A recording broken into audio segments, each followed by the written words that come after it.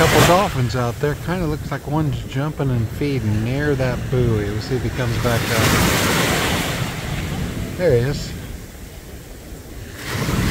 Saw two. There's another one.